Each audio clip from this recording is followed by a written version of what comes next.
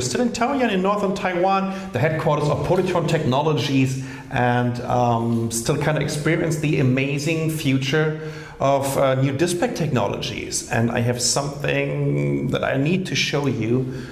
This is a phone, a transparent smartphone with a multi-touch display.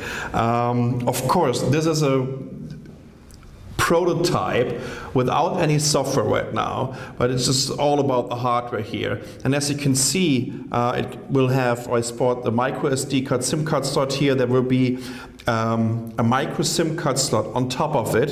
Over here we have the microphone, a bunch of batteries, and uh, for the future, they're going to cover this part here so that you don't need to see the batteries and your SIM card and whatnot, because um, battery technology is not even close to become transparent in the future. And over here, um, we, we're going to have the speakers. And I can switch it on here. There you go. So um, this is the first time uh, we can get a hold of uh, this device here.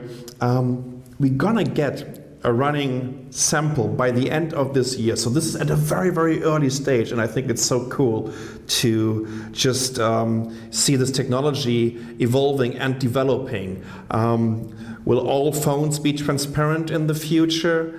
Uh, I don't know right now, but I can tell you one thing that I definitely would love to have one of these platforms. So this is a very, very brief look at a super early stage technology demo and sample of a future transparent smartphone. And this was uh, made by Polytron Technologies in Taoyuan in Taiwan. I'm Sasha from Mobile Geeks. Thanks so much.